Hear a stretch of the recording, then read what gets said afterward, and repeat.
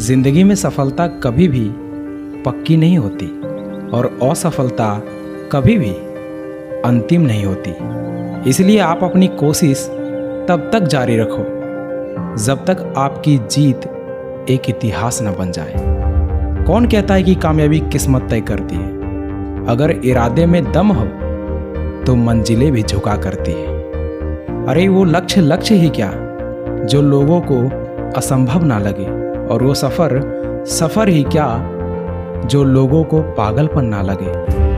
देखो, वक्त सभी को मिलता है अपनी ज़िंदगी बदलने के लिए, लेकिन ज़िंदगी दोबारा नहीं मिलता वक्त बदलने के लिए। याद रखना, जो आसानी से मिल जाए, वो हमेशा तक नहीं रहता। कि जो आसानी से मिल जाए, वो हमेशा तक नहीं रहता। और जो हमेशा तक रहता है, वह आसानी से नहीं मिलता। इसलिए हौसले के तरकस में कोशिश का वो तीर ज़िंदा रख।